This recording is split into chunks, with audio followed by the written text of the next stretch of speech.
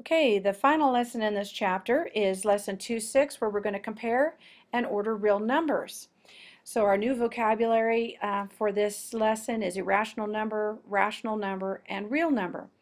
Now it'd be a very good idea if you were to put this graphic into your notes. So why don't you pause the video and show um, this diagram where we're talking about the sets of real numbers Real numbers are divided into rational and irrational.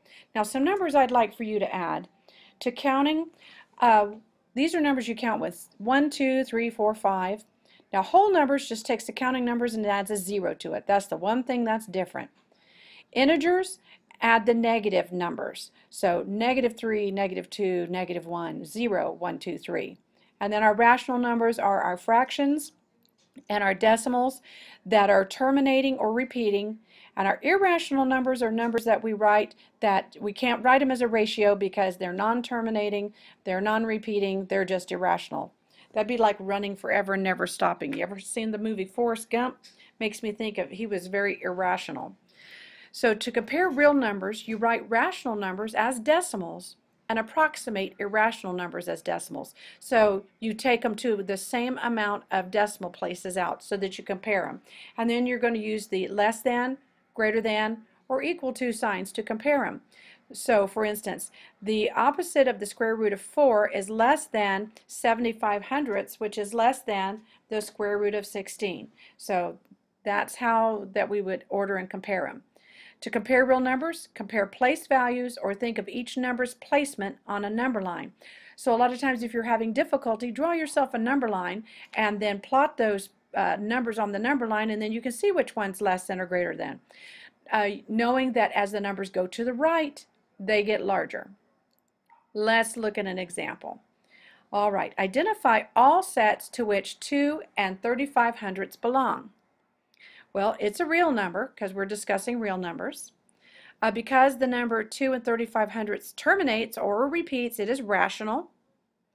It's uh, written as a decimal, so it's not an integer, whole number, or counting number. And so, and finally, you could say that it belongs to the real and rational because it does not belong to those others. So now take a moment and answer the questions on your turn.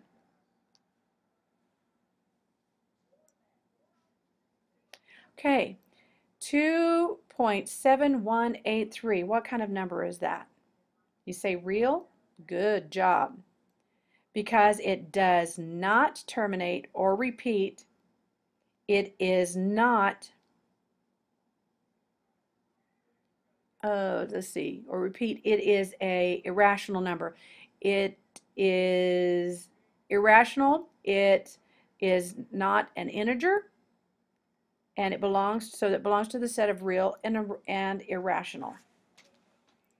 Well, because it's irrational, it doesn't belong to any of the sets on the rational side. If it's irrational, it doesn't fit in any of these. So once you get to rational and real, you can stop comparing it. Okay, example two. We're to use the greater than, less than, or equal to to compare a negative 9 and negative 19 sixths.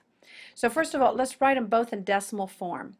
Negative 9.0 and a negative 19 over 6 is a negative 3.16 repeating.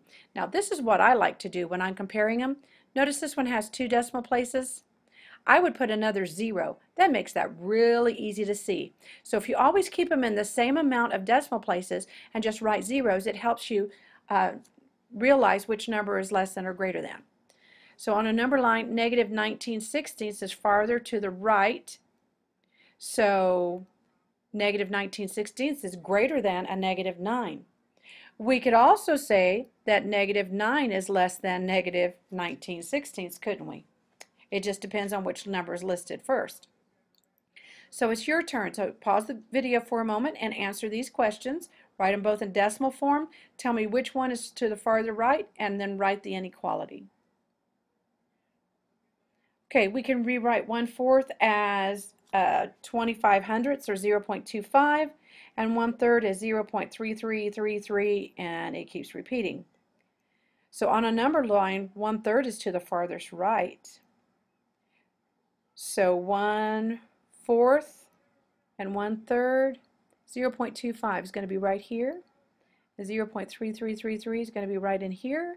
So write an inequality. 1 fourth is less than 1 third.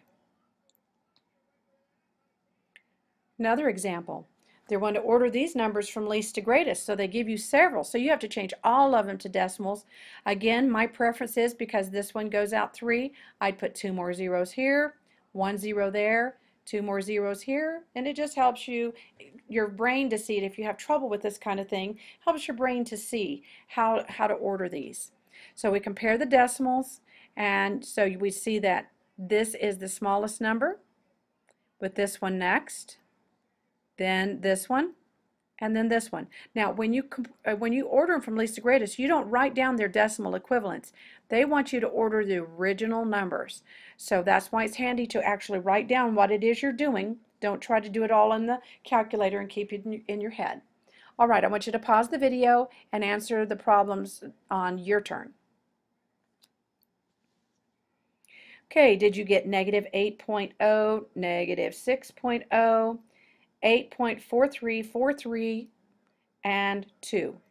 So if you order in from least to greatest, negative square root of 64, negative 6, square root of 4, and 8.43 repeating. Okay, good job.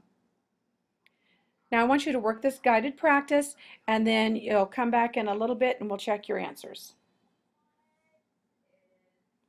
Okay, did you get that this one is real and rational? The square root of 169. What is the square root of 169? Did you get 13? Well, 13 is real, rational, an integer, whole, and counting. 2 thirds is real and rational. And the square root of 2 is real, but it is irrational. Okay, good job. Now for some step-by-step -step practice, I want you to pause the video again and uh, answer these questions and then come back and check your answer. Okay, I'm going to give you just a moment to check your answers. And then compare the decimals. So we've we ordered the decimals and then that makes it easy to go ahead and find out the corresponding numbers from least to greatest. Awesome job. Okay, now I'd like for you to take uh, time to practice ordering numbers from least to greatest. There's only two problems here, so pause the video and do the work and then come back and check your answers. Okay, you can pause the video and check your answers. Good job, guys. Okay, toward the end of the video, we've got our step-by-step -step practice solving, our problem-solving practice. So pause the video, read the problem, and you know how to go about changing these to a decimal. Okay, good job, guys. Okay, so we had to change each to a decimal. We know we're going from least to greatest. So after we wrote them all as a decimal, then the answers, and you can check your answer by plotting them on a number line. So you can pause the video to finish checking your answers, and then you're ready to work your uh, skills and concepts practice.